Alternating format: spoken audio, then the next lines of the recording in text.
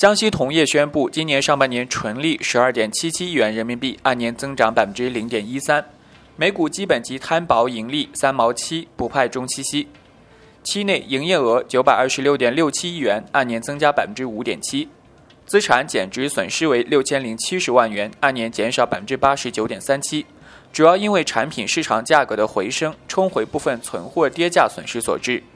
上半年集团产品产量顺利完成计划，生产阴极铜五十六点九万吨，按年增长百分之一点八三；黄金一点三二万公斤，按年增长百分之三点八。